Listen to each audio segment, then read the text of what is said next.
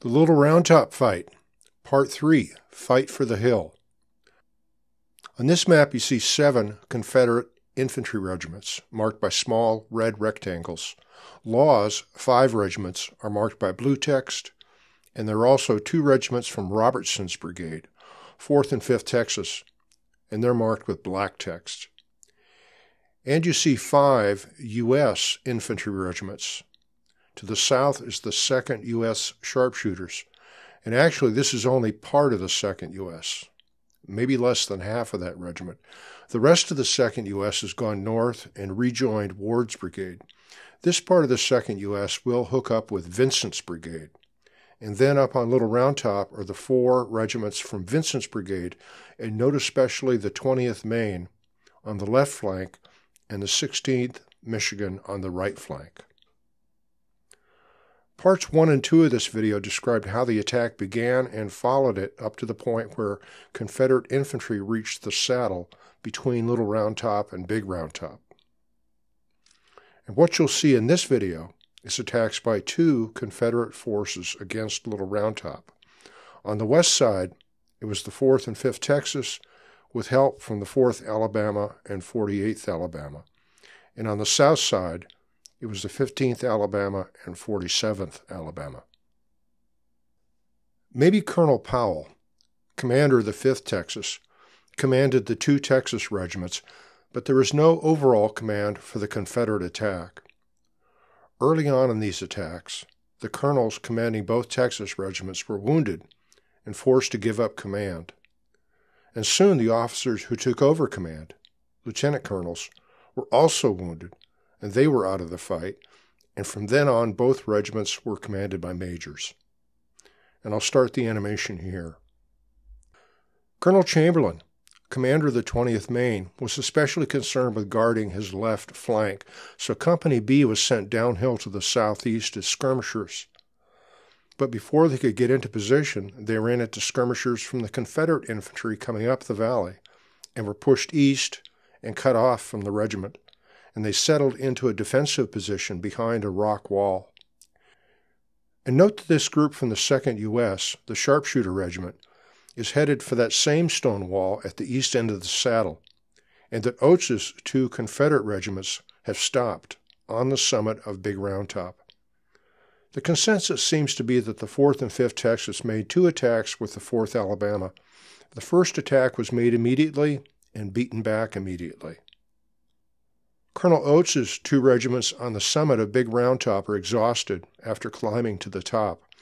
It's possible that the 15th Alabama hadn't had water in several hours. Remember, their water detail had not returned when the charge started, and they could hear fighting in the valley in front of them. Oates apparently had no plans to move off the summit, but an aide from General Law arrived and ordered them forward, and down they went to join the fight.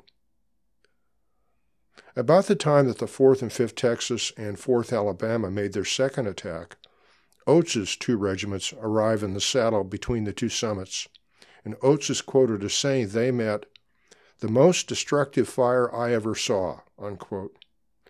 Colonel Chamberlain, commander of the Union 20th Maine, said, They pushed up to within a dozen yards of us before the terrible effectiveness of our fire compelled them to break and take shelter.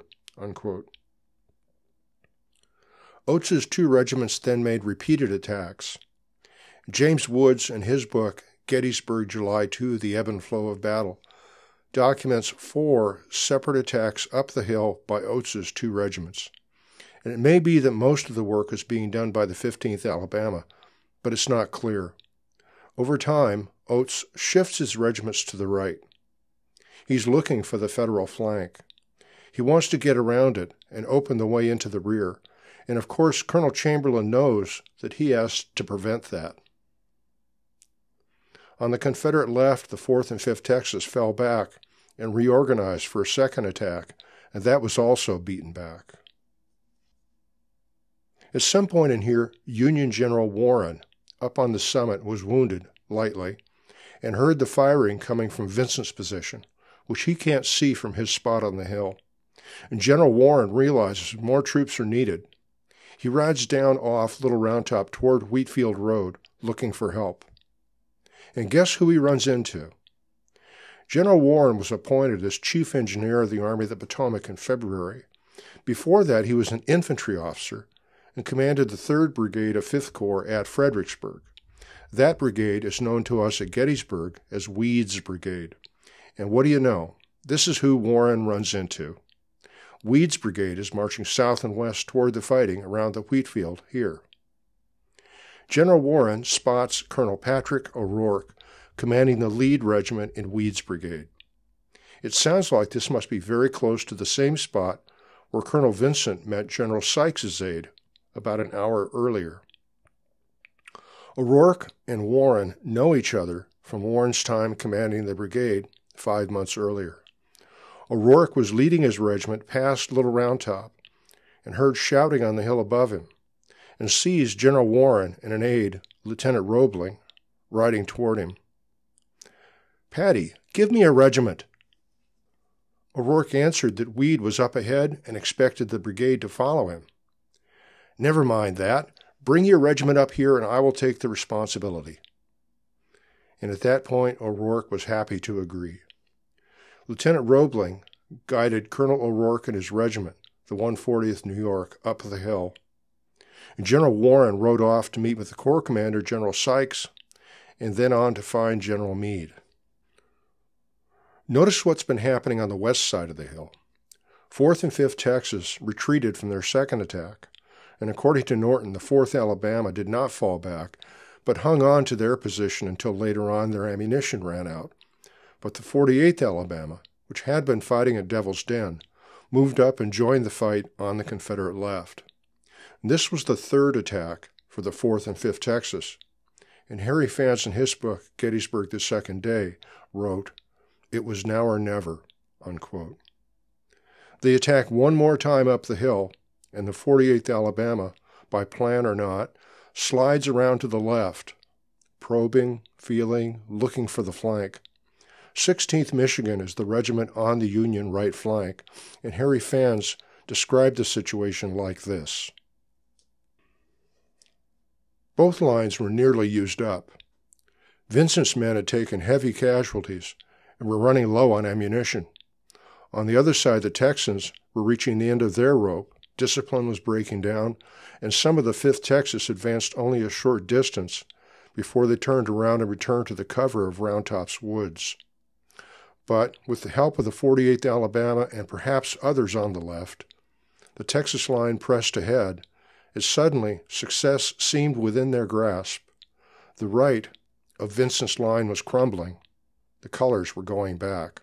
Unquote. It seems on the 16th Michigan side, someone's orders were misunderstood, and at least part of the regiment fell back. On the map, see the 48th Alabama slide around the flank, while Hazlett's battery and the 140th New York, O'Rourke's regiment, approach from the rear. About this time, Colonel Vincent was in the rear at the middle of his brigade, cheering them on, exposed, and was shot and mortally wounded. Colonel Rice took over command of Vincent's brigade and passed word up and down the line to the four regimental COs that he had taken over the brigade. He also sent a request for help to his corps commander, General Sykes, and we'll hear more about that later. The 140th New York climbed up Little Round Top in a column of fours, Colonel O'Rourke leading on horseback with an aide. Hazlett's guns crossed their line of march. When Colonel O'Rourke reached the top, he and the aide dismounted turned their horses over to the regiment's sergeant major, and O'Rourke led the regiment down the slope into the fighting. There was no time to deploy into a line. It sounds like the two lead companies stopped and loaded, while the rest of the regiment strung out to the right. There was an exchange of fire. The Confederate charge was beaten back, and Colonel O'Rourke was one of the men killed on the Union side and you can see statues of him and General Warren on Little Round Top today. Fighting continued on the south end of the hill, and I mentioned before that Woods wrote that there were four separate attacks by Oates's regiments against Vincent's left flank. The most intense fighting seems to have been between the 15th Alabama and 20th Maine.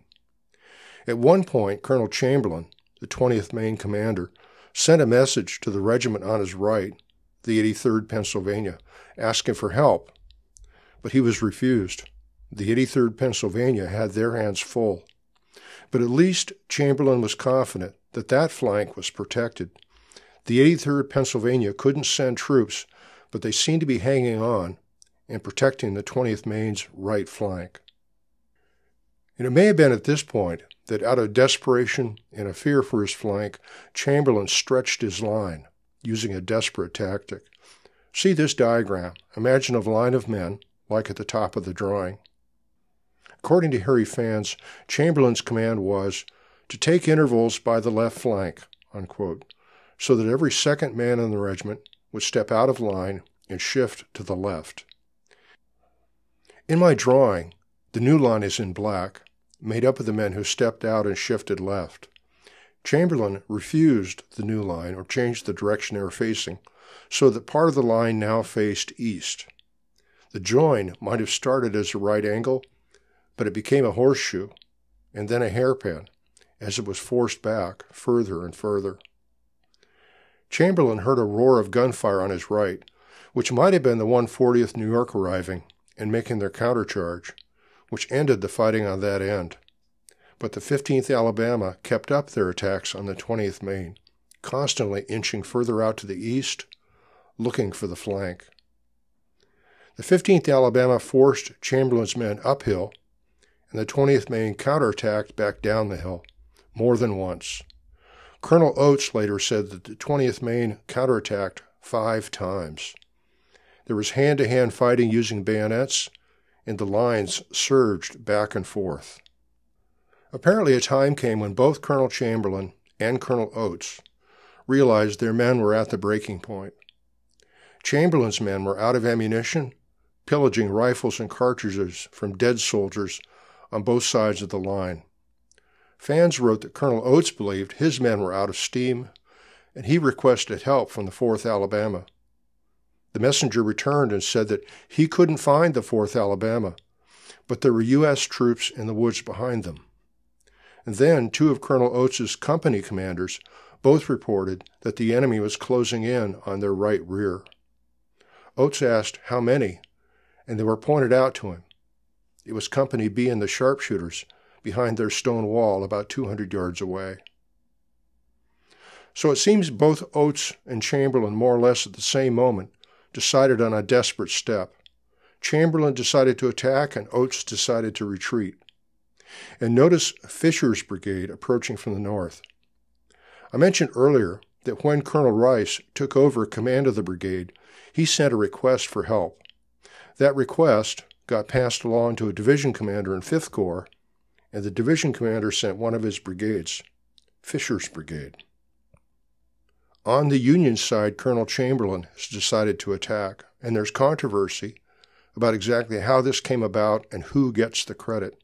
The plan was that the left flank should swing out and down the hill, and when it was parallel with the rest of the regiment, they would all sweep forward and downhill like this. And as Pfanz described it, sweep the Confederates from their front or be destroyed in the attempt. Unquote. On the Confederate side, Colonel Oates has decided to retreat. And as Pfanz describes it, Colonel Oates sent his sergeant major along the line to tell the company commanders that they should not try to fall back in good order. Rather, at the signal, each man should run back in the direction whence they came. Unquote and the regiment would reform on the summit of Big Round Top. The 20th Maine charged, the two Alabama regiments retreated, and apparently at the same time, Fisher's Union Brigade arrived. And there was controversy later about how involved Fisher's Brigade was. Colonel Oates apparently described a long line of Federal infantry on his right, which might have been Fisher's men, but Company B and the sharpshooters were also in that area.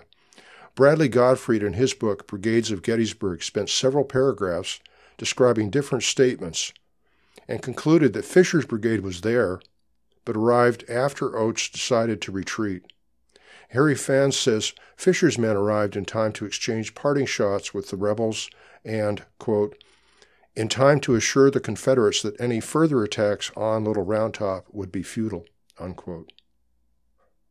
The 20th Maine spent the night on the summit of Big Round Top, continuing to guard the left flank. The fight for Little Round Top was over. Little Round Top was a hard fought battle. Casualties were high. My casualty statistics come from Philip Laino's book, Gettysburg Campaign Atlas. Colonel Vincent and Brigadier General Weed, the Union brigade commanders, were both killed. Lieutenant Hazlett, the commander of the artillery battery, was killed. Law's brigade suffered 28% casualties, and among Law's regiments, the 15th Alabama had 36% casualties. Robertson's brigade had 35% casualties. And the 5th Texas, one of Robertson's regiments, had 52% casualties. Vincent's brigade suffered 26% casualties. Among Vincent's regiments, the 20th Maine had 32%. After the Battle of Gettysburg, Colonel Chamberlain received a very severe wound in June 1864, was promoted to Major General, and was present when Lee surrendered at Appomattox. After the war, Chamberlain served four one year terms as governor of the state of Maine. Colonel Oates was elected governor of the state of Alabama and served as a brigadier general in the U.S. Army in the Spanish American War. Lieutenant Washington Roebling was an aide to General Warren at Gettysburg. He was the aide who, along with Colonel O'Rourke, led the 140th New York up Little Round Top.